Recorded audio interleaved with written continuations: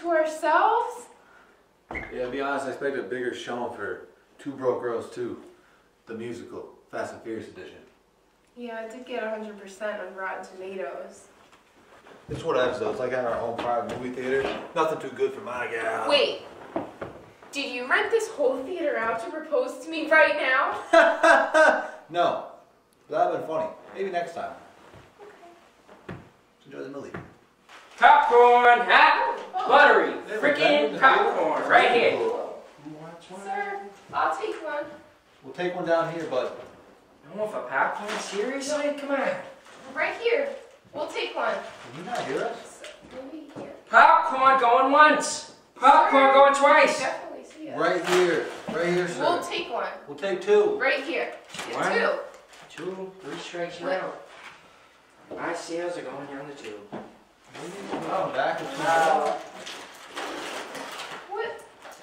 What's happening? We'll get them on the next one. Yeah, let's just just watch. So you want my life story? All right. Grew up in Charlestown. Yep, been doing vendor work since I was about four years old. It's been pretty pissa.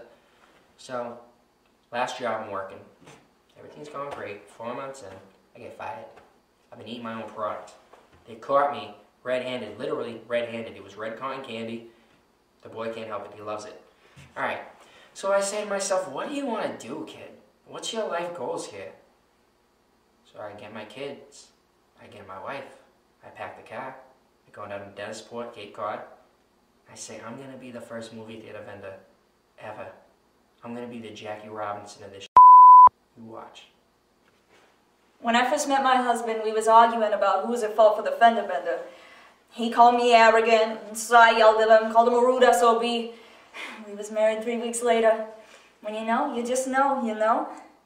But then, when he told me that he lost his job, first thought that I had is to divorce this kid. Then he has this movie theater vendor idea. He strikes gold, it hits him like a sack of bricks. He's an innovator. A regular day Steve Jobs kid. It's wicked busy. I've thrown this man out many times before. He doesn't actually work here. Someone help me! Ice cold beer here. Who wants it? Who wants my ice cold beer? Hey, I'll Sir. take one, man. Ice cold Teddy Brewskis.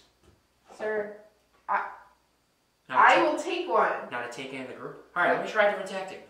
Gluten free beer. Sir, We just want a beer. right here. Can you Right. not see us? One more. Organic homegrown Hello? grass fed beer. We're right here. If you're not here, she's pretty loud. I. 25%. Drunk off one sip. We'll take it. We'll have it. Right. We want the beer. Mm-hmm. These Cape Coders, man. All they like is vodka and cranberry. And Yeah. beer. Beer's great too. Like, Bostonians would eat this crap up, though. Oh, yeah. I worked all over. I mean, I'm talking Gillette Stadium, Harvard Yard, Agganis Arena. I'm talking TD Garden for Bruins and Celtics. Tom Brady's guest house. Twice. Honestly, though, my favorite work environment, right here. The people. It's the people. It's a people business. You guys know what I'm talking about. Come on. But something about the way over here. They make jokes all the time. They're always cracking wise. They're just like, uh, hey, buddy, you don't even work here, or uh, get out of here already, or uh, don't make us call the cops again. Didn't you have to leave in handcuffs last time? These freaking people. Bless their hearts. They took this kid in from Southie and they gave him a home. What more is there to say? I call the cops. They throw him out on his ass. He somehow gets back in. I don't know how he does it. But I tell him, point blank, to his Boston trashy face, Buddy, you don't work here. You're not an employee. Ugh.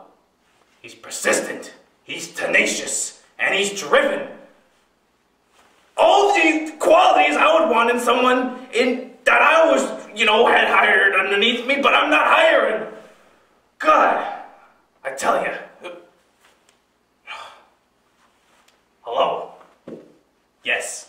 Yes, yes, the towny trash guy is still here. Of course we tried that. Yes, uh, we, of course we tried that one too. We just did that. No, you're a manager, Grandma. I mean, I was working as a stockbroker before this. But when your significant other strikes gold, you grab a shovel and you start digging. You know, Chucky, someday you're gonna wake up with Gronkowski, and you're gonna be like, that movie theater vendor thing, genius. $50 million a year? No thanks, Mr. President. I already make $100 million.